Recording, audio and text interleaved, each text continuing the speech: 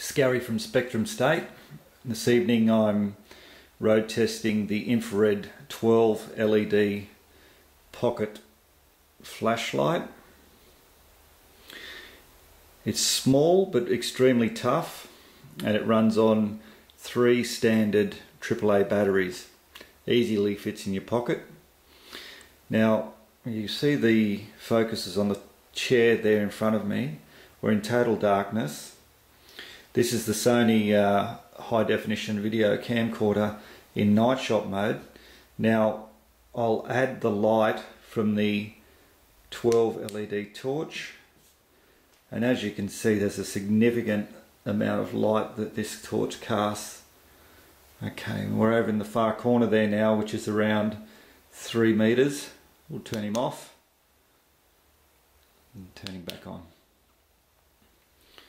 So this is without doubt one of the tools you must have. It's very affordable, yet very effective too. Okay, so that where the plants are down there, that's around seven meters away. Off. You can just make out the small table there. Then we'll add the light. And there we have it.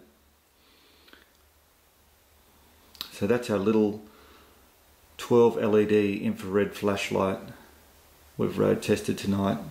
I'm sure you'll find it very impressive, just as, as we have. Thank you.